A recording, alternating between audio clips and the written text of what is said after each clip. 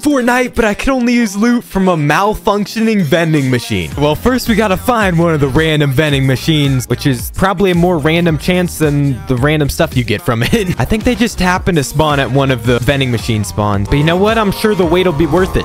Actually, I'm not too sure. Sometimes these random vending machines go wilder than a chipmunk on a Thursday. That's not one. Oh my gosh, we got one, yo. Let's do this. So we can buy 10 items from it, and I got plenty of gold, so we'll just send it. Is that a chicken? What in the world? All right, there it is. We got some decent loot. Purple shotgun. Got an AR sniper. That's actually not a bad loadout. Oh, we got a player here already. Boom. Might be too random for him. Got somebody else here. Yes. Yo, we are cooking like that chicken, dude. Let's go. Oh. Okay. Oh, no. What?